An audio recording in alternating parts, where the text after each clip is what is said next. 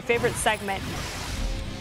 You want to make sure you check out the opening day strikeout contest presented by Sage. Fans can make their prediction for which team will have the most strikeouts in each opening day game. So here's a look at all of the starting pitchers. We got all the aces going come opening day, and you have to choose the player and then the team that, of course, will lead with the strikeout. So a lot of really good options. I mean, Tarik Skubal in Detroit, you love that one. I mean, that's a guy who has the opportunity to punch a lot of guys out. I'll be down in Texas for Justin Steele, Nathan Eovaldi.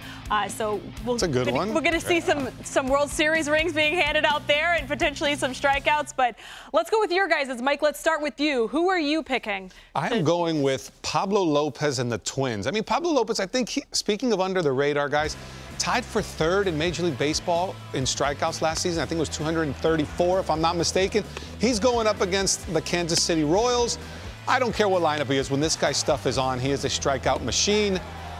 And I'm just, I, that, that's my pick. That's what I got. I like it. I'm sticking to it. I like the pick. DJ Dan? Tyler Glasnow, his second start. First start was in Korea, punched out three. He, there's a lot left in this tank. He's finally getting a chance to pitch in a big market team. Listen, the Dodgers spent a billion dollars over the course of about 10 days. This guy over a $100 million contract out of Tampa with the Dodgers. Big guy, great ballpark to pitch in. He's going to love that mound in Dodger Stadium, and I'm going to be there to watch him pitch in person Thursday against the Cardinals. Great hair as Yeah. well, too. I Yeah, he's got some flow can't going, forget doesn't he? about that. And also, Peaky Blinders is over, and Oppenheimer. Since Yes. he looks exactly like the actor Yeah. that won. Yeah. Uh, take off the hair. Exactly. All right, you guys ready to hear my pick? Yes. I know this is going to surprise absolutely nobody, but I'm going with Spencer Strider. Wow, going on. I you're know, going. I know. Really Taking a flyer there, huh? I know the guy who had 281 punch outs a year ago. I actually predicted him to go over 300 Okay. this season. So what better way to start off the season than racking up some punch outs against the Phillies?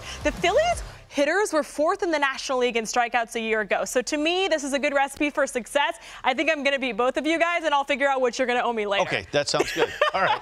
I, I love it.